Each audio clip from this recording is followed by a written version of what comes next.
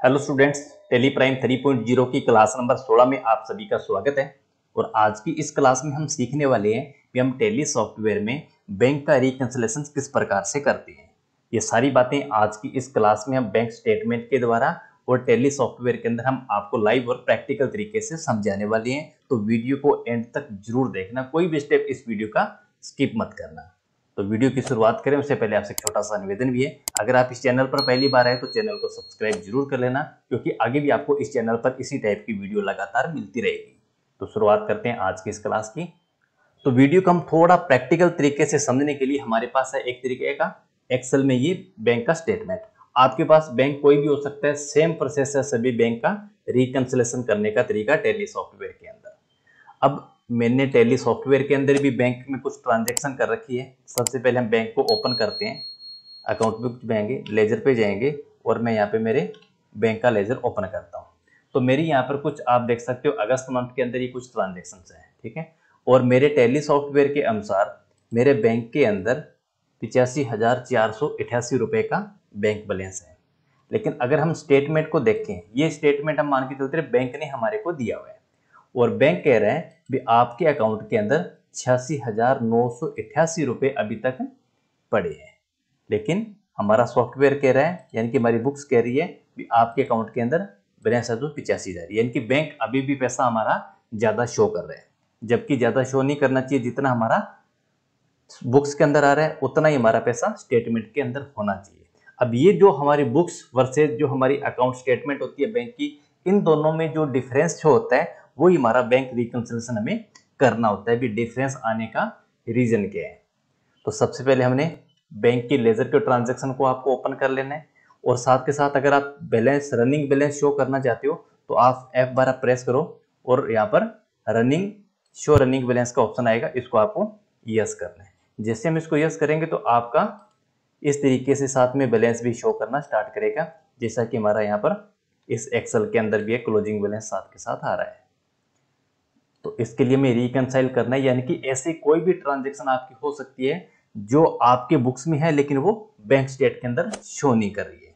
तो क्या हमें बैंक स्टेटमेंट के अकॉर्डिंग चलना चाहिए, या हमारी बुक्स ऑफ़ अकाउंट्स के अकॉर्डिंग हमें काम करना चाहिए?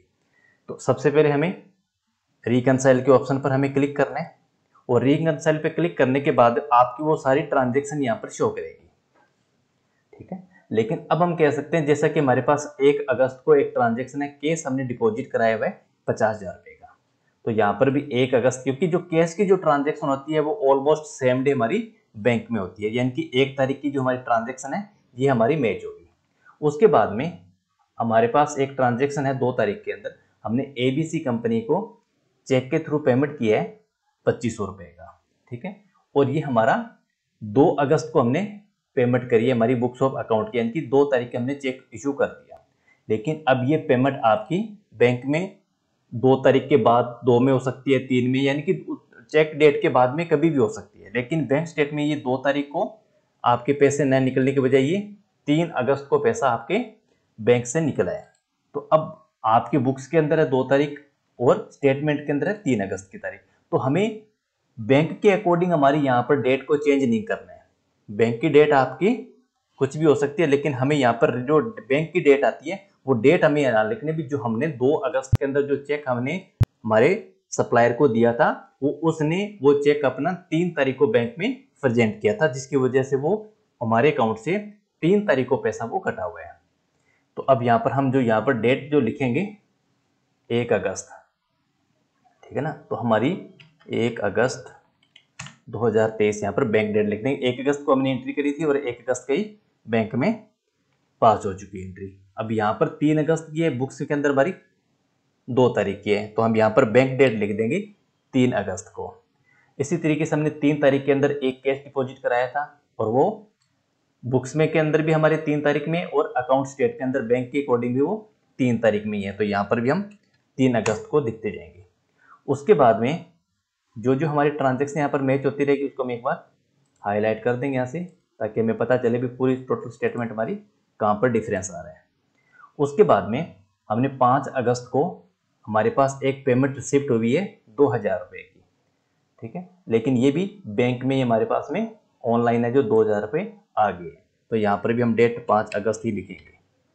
उसके बाद में नेक्स्ट ट्रांजेक्शन थी हमारी बुक्स के अंदर छः अगस्त को हमने पेमेंट करी है तैतीस सौ बारह की। और वो तैतीस सौ बारह अकाउंट स्टेटमेंट के अंदर आ रही है आठ अगस्त को। तो यहाँ पर हम तारीख लिखेंगे आठ अगस्त को। इसको भी हमने हाईलाइट कर दिया। उसके बाद में नेक्स्ट ट्रांजेक्शन हमारी है सात अगस्त को। ये हमारे पास एक रिसिप्ट हुई है छब्बीस सौ रुपये की। तारीख बुक्स के अंदर हमारी सात अगस्त के अंदर हमने एंट्री करी है और ये छब्बीस सौ रुपये की बैंक के अंदर आई है नौ तारीख को। अब ये डेट आगे पीछे होने का कारण कोई बैंक के अंदर छुट्टियाँ भी हो सकती है या किसी दूसरे ब्रांच का चेक था, जहाँ से कोई भी रीजन हो सकता है आपका बैंक में पेमेंट लेट आने का। तो बैंक डेट हमारी है नौ अगस्त। ठीक है?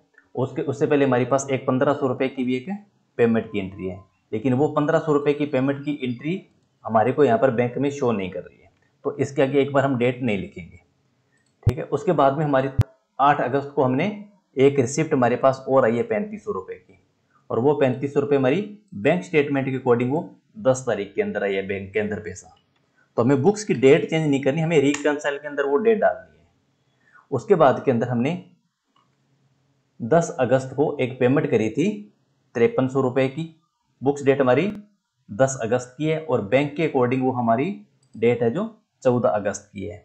तो हम यहाँ पर 14 अगस्त को एंटर प्रेस करेंगे। अभी हमारी सारी ट्रांजेक्शन जो हमारी स्टेटमेंट के अंदर थी, वो सारी की सारी हमने यहाँ पर रिकनसाइल कर ली है ठीक है? और ये जो सिंगल अमाउंट आपकी पंद्रह सौ रुपये की है, वो आपने बुक्स में तो एंट्री कर दी, लेकिन आपका जो सप्लायर है, वो अभी तक इस चेक को बैंक के अंदर प्रेजेंट उसने नहीं किया है, जिसकी वजह से आपके बुक्स के अकॉर्डिंग तो आपको लग रहा है भी पैसा आपका कट गया, लेकिन स्टेटमेंट के अकॉर्डिंग आपका पैसा भी वो कटा नहीं है, क्योंकि वो चेक आपका अभी तक बैंक में आया नहीं है। हम इसको एंटरप्रेस करेंगे। तो एंटरप्रेस करने के बाद अब हमें क्या पता लगा अब वापस हम जैसे हमने बैंक स्टेटमेंट को ओपन किया बुक्स के अंदर यहाँ पर आपको वो डेट नहीं दिखेगी। हम जैसे इस रिकनसाइल पे जाएँगे तो रिकनसाइल करने के बाद में आपके पास में वो डेट यहाँ पर ऑप्शन खाली आपको दिखता रहेगा। यानी कि ये एंट्री आपके बुक्स के अंदर अभी नहीं है, और लेकिन यहाँ पर अभी भी ये चौदह अगस्त की एंट्री भी दिखा रहा है। क्यों दिखा रहा है? क्योंकि अभी तक हमारे बुक्स के अंदर एंट्री हमने 10 अगस्त तक करी हुई है। तो यहाँ पर अगर हम कोई एक ट्रांजेक्शन इस 14 अगस्त के आगे की भी अगर हम करेंगे।